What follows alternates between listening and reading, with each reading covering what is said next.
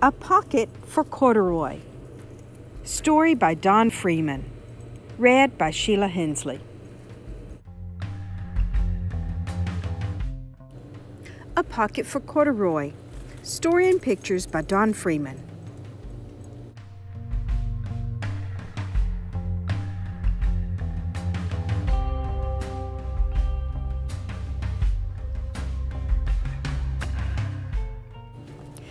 Late one summer afternoon, Lisa and her mother took the laundry to the laundromat. Lisa carried along her toy bear, Corduroy. The laundromat was a very busy place at this hour. Now, Corduroy, you sit right here and wait for me, Lisa said. I'm going to help with our wash. Corduroy waited patiently. Then he suddenly perked up his ears.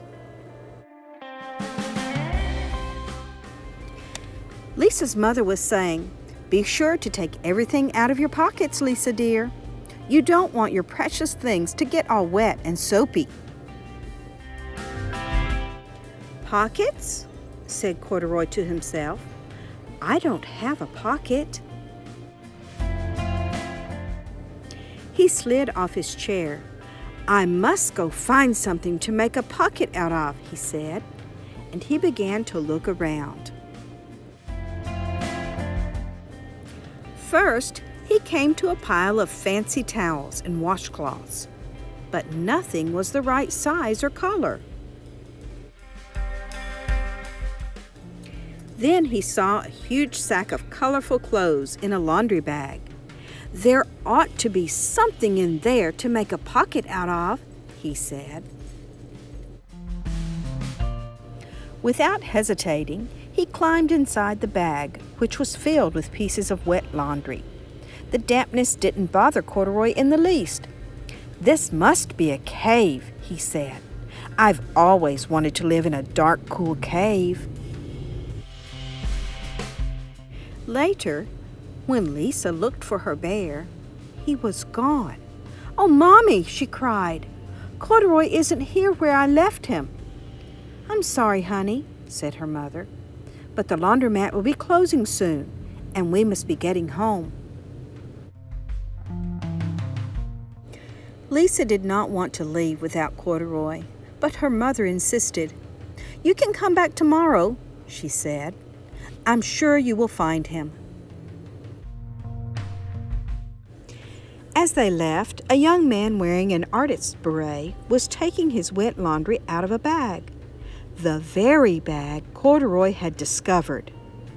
Before he knew it, Corduroy was being tossed, together with all the sheets, shirts, shorts, and slacks.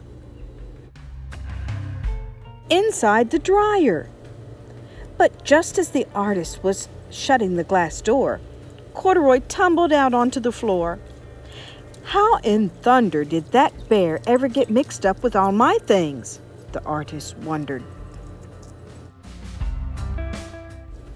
Poor Corduroy was damp all over.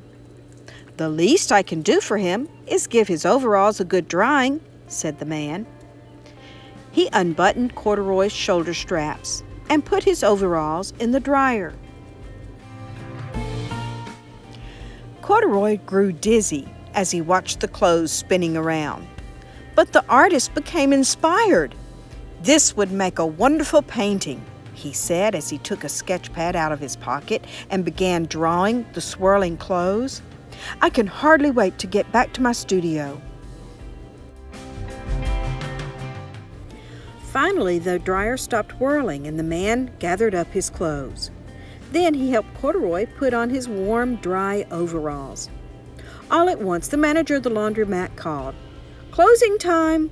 Everybody out! Corduroy was gently placed on top of a washing machine. I wonder who that bear belongs to, said the artist as he was leaving. He should have his name someplace. He's too fine a fellow to be lost. As soon as the lights were turned off, Corduroy began his search again. He was surprised to see something white glowing in the dark. Maybe it's snow, he said. I've always wanted to play in the snow. He accidentally tipped over the open lidded box, and suddenly he was covered with soft, slippery soap flakes. Gradually, Corduroy began to slip and slide. Oh, what fun! he said with a smile. I've always wanted to ski down a steep mountainside. He landed, paws first, in an empty laundry basket.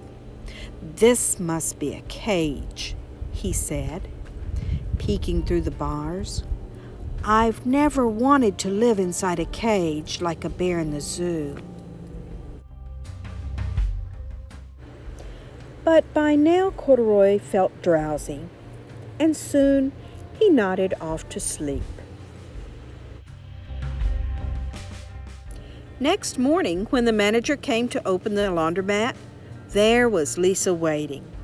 I left something here yesterday, she explained. May I look around? Certainly, said the manager. My customers are always leaving things.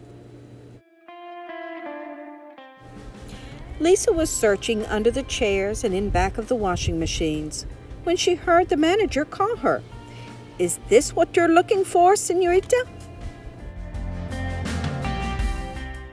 Yes, yes, he's my best friend, shouted Lisa. She reached in and picked Corduroy out of the basket. So this is where you've been, you little rascal, she said. It's time I took you home. Lisa thanked the manager and ran down the street, holding Corduroy tightly in her arms.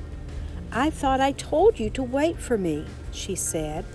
Why did you wander away? I went looking for a pocket, Corduroy said.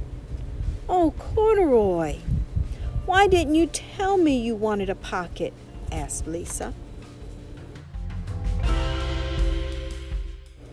That very morning, Lisa sewed a pocket on Corduroy's overalls.